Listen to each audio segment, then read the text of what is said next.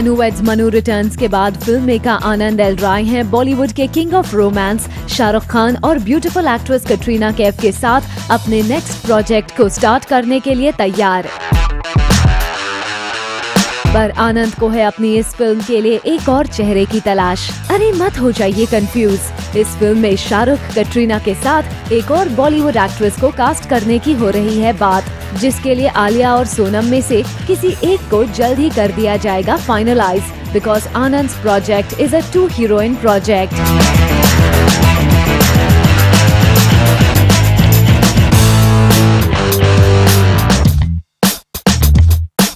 Agar Kare sources par yakin, he has had discussions with both Alia and Sonam for the role. He has briefed both of them about the film and the maker will finalize the cast in about 10 days from now. Speaking on the issue, Anand confirmed that two names are under consideration. However, he refused to give out any specific details.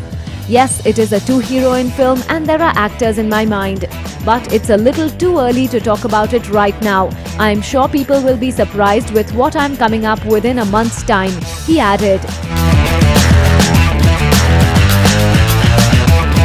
Interestingly, SRK will be essaying the role of a dwarf in the said film. Well well, fan में S ने अपने character को different look देने के लिए की थी जी तोड़ मेहनत अब देखना होगा काफी इंटरेस्टिंग कि किंग खान कैसे दर्शाते हैं इस कैरेक्टर को